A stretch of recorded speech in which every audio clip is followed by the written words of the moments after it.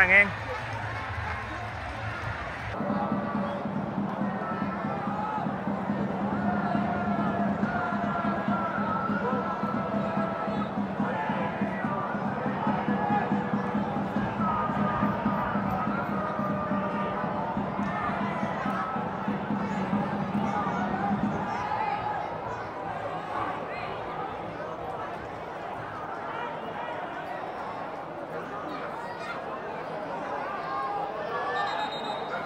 Câu lạc bộ Hoàng Anh Gia Lai có sự thay đổi cầu thủ. Cầu thủ số 11 Nguyễn Tuấn Anh rời sân. Cầu thủ số 6 Trần Thanh Sơn vào sân.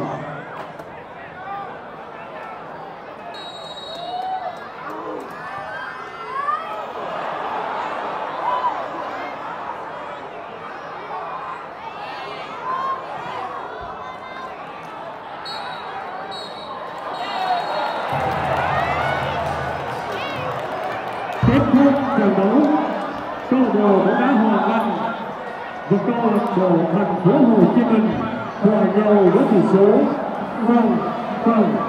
quá đáng tiếc được quá đáng tiếc cả nhà một uh, trận đấu mà câu lạc bộ Hoàng Anh Gia Lai họ đã tạo ra rất nhiều cơ hội nhưng mà không thể ghi được bàn thắng tiếc quá anh ơi Paulo nó vô đội nhà báo đi à, chắc là cho Paulo vô đá hội nhà báo thành phố Hồ Chí Minh quá thật sự là không thể miêu tả được gì nữa? Paulo, cầu thủ gây thất vọng nhất ở hàng tấn công của câu lạc bộ Hoàng Anh Gia Lai ngày hôm nay. Bỏ lỡ quá nhiều những cơ hội mà đồng đội đã tạo ra cho anh.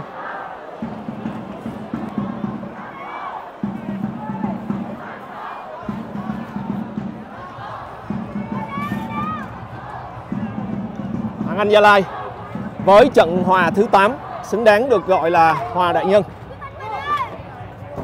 Hòa Anh Gia Lai và bây giờ thì à, chúng ta sẽ cùng đến với Tuấn Anh.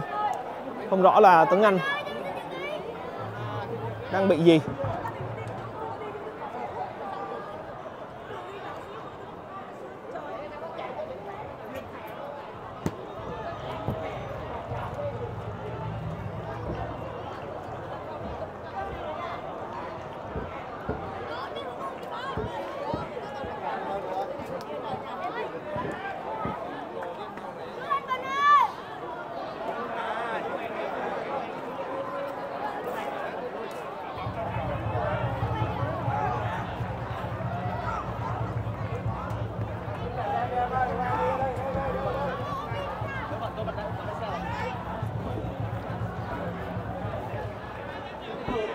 Tuấn Anh đã đứng lên được rồi.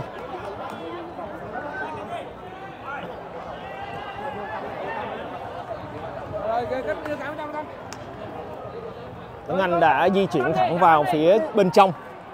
À, đường hầm. Hoa Đại Nhân tiếc quá.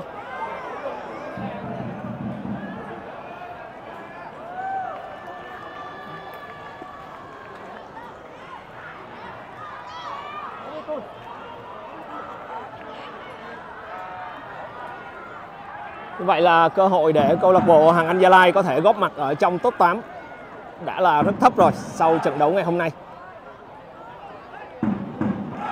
Sau ờ, vòng 12 V-League thì thầy trò huấn luyện viên Hoàng Anh Tuấn xin lỗi, thầy trò huấn luyện viên Kia Tisak mới chỉ có được 13 điểm mà thôi.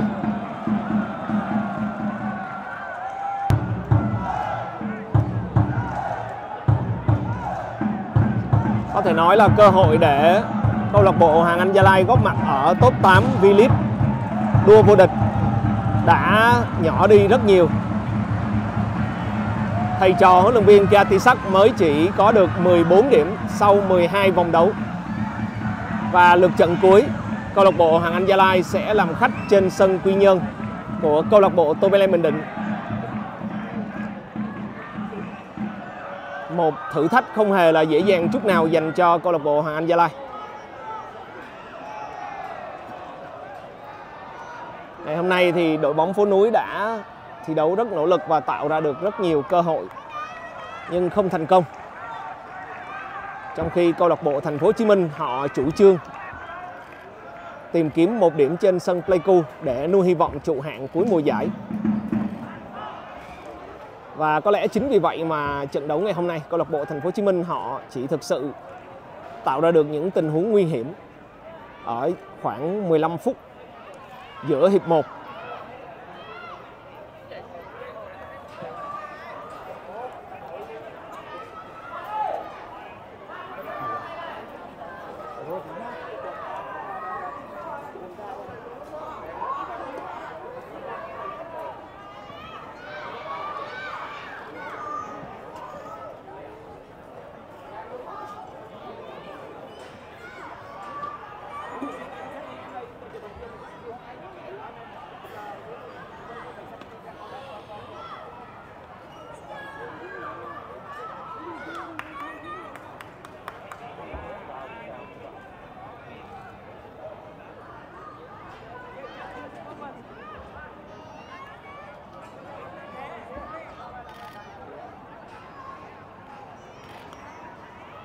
các trợ lý của huấn luyện viên Vũ Tiến Thành, anh Lương Trung Tuấn và anh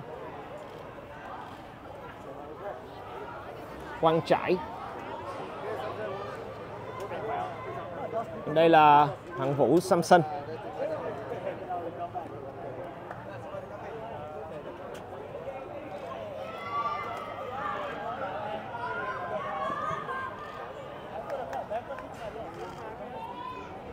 Ở đằng xa kia là Hoàng Vĩnh Nguyên cùng với Quốc Việt và Trần Minh Vương. Những sản phẩm từ lò đào tạo Hoàng Anh Gia Lai. Có người đã thi đấu trong màu áo của Nutifood.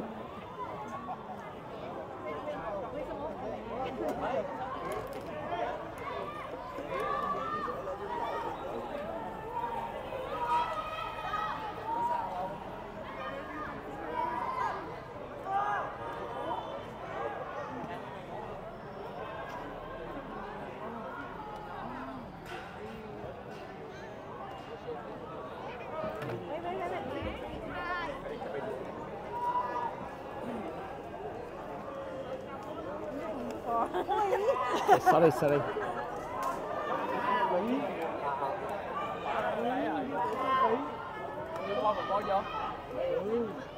Chút nữa. Có. Nhanh nhau mới về được kìa. Kín ơi, tự nhiên đi. Để tại nói tiếng Anh cho chủ à. Ok em ơi.